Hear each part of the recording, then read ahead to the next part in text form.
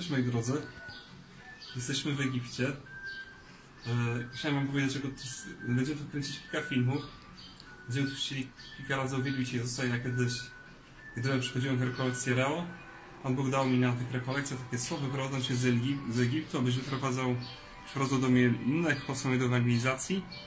I dla mnie Egipt symbolizuje, tak jak dla szczególnie w starożytności, miejsce złych duchów. To było miejsce, gdzie gdzie składano ofiary z dzieciom, dzieci, rodzice składali dzieci z tym bożkom, które tu były w Egipcie, a my mamy Boga, który ofiarował się za nas. My nie musimy się nikogo ofiarowywać za to, aby się wykupić z niewoli złych duchów, bo nasz sam Bóg, nasz Jezus Chrystus wykupił nas z niewoli złych duchów.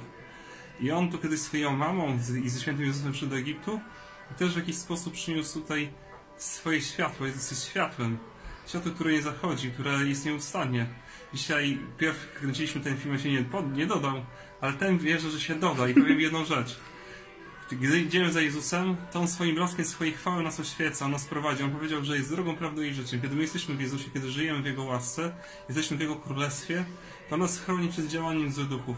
Moja żona, która jest piękną kobietą, jest kobietą, w której mieszka Jezus, bo przyjmuje Go w Eucharystii. Ja jestem człowiekiem, który żyje Jezus, bo przyjmuje Go w. Za chwilę jedziemy na mszę świętą, aby się pomodlić. Chociaż jesteśmy w Egipcie, jesteśmy w podróży poślubnej, to pamiętamy, że naszą skałą i naszym fundamentem jest Jezus. I życzę Wam tego, abyście za nim podążali. Będziemy kręcić tu wiele filmów, aby dzielić się z wiarą.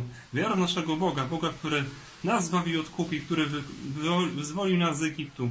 A naszym Egiptem jest nasz grzech. Jeśli mamy problem z grzechem, to powinniśmy powiedzieć, Jezu, my jesteśmy słabi. Ja jestem słaby, Ty, człowieku, jesteś słaby. A Jezus jest wszechmocny i warto, aby Go zapraszać do tych słabości naszych, aby On udzielił nam swojej łaski i swojej mocy.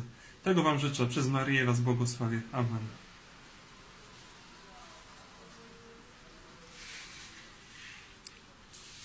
Widzicie, jeszcze moja żona Wam pokazuje, jak tu jest pięknie. Jesteśmy na takim basenem, tu są palmy, słońce już zachodzi, a Jezus nigdy nie zachodzi.